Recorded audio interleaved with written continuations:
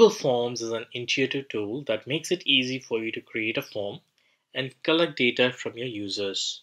If your requirement is to create an order form or a payment form for registration, booking, membership, or an application form, then you may also want to collect payments as part of the form submissions. Calculations and payments are not supported by the native Google Forms.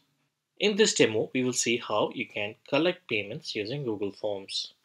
If you have created your form in Google Forms, then you can customize it using our Neartail or Pay Gateway add-on to calculate the amount and collect payments. Or you can use our order form or payment form templates to create your form and collect payments from your customers.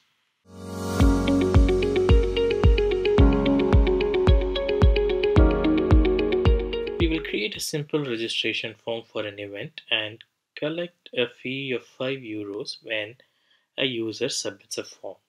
To enable payments, click on the add-on icon, click on Pay Gateway, click on Calculate Order Amount, select the currency, click on Next. Now in this case, we want to charge a fixed fee of 5 euros. So let's select the fixed amount option and enter 5 euros. Click on proceed. The edit page will open in a new tab. To continue editing, scroll to the bottom of the page. Click on the gear icon next to submit button. Button settings page will be displayed. Click on enable to collect payments. List of supported payment options will be displayed. Let's collect payments using credit or debit cards. To set up card payments, click on the configure link.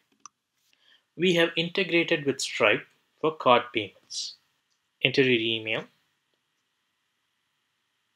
and password to login. Enter the verification code to sign in. If you already have a Stripe account, you can easily select the saved information to create your Stripe connected account.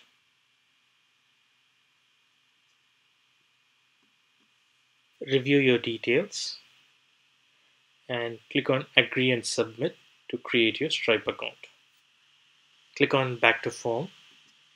The credit or debit cards option will be enabled. Click on save. Once you have enabled the payments, click on share Copy the short link and share it with your users to collect responses. Let's submit a response and test how the form works. Open the form in a new tab, fill in the details, and click on the submit button. Enter the card details to make the payment. Click on Pay Now to make the payment and submit the form. If the payment is successful, the response will be submitted and the thank you message will be displayed. The form responses will be recorded in Neartail, Google Forms, and the linked Google Sheets. To view the responses in Neartail, click on Orders. All the responses submitted by the users will be displayed under the Submitted status.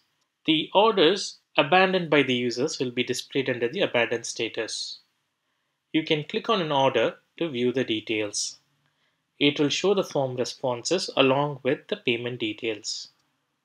The status is marked as paid and it also includes a reference number. You can click on this reference link to view this transaction in the Stripe dashboard. If you have to process a refund, you can click on the refund button, enter the amount, select a reason, and click on refund. To view the responses in Google Forms, click on Responses, click on Individual, and you can view the responses submitted by the users.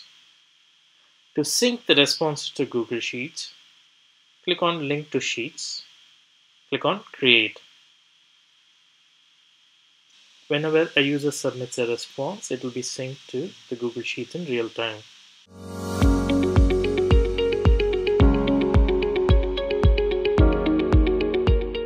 When you enable card payments, the default setting is to collect payments when the user submits the form.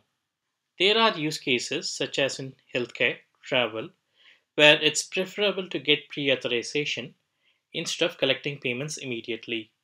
Neartail alerts you to get pre-authorization by enabling the withhold payment option. When this option is enabled, Neartail gets pre-authorization for the payments when the user submits a form. You can collect this payment anytime within the next 7 days. Let's submit a response and see how pre-authorization works.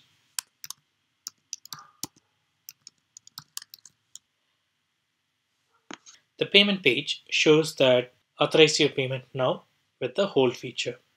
Enter the card details and click on pay now.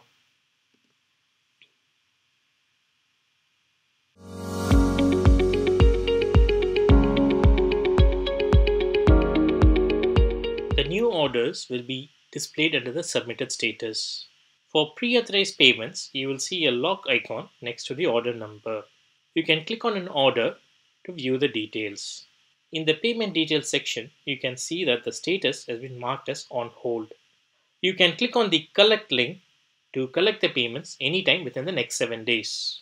When you click on the collect link, it will ask you to confirm if you would like to collect the payment now. Click on proceed. The payment will be processed and the status will be marked as paid. You can click on the reference link to check this transaction in Stripe.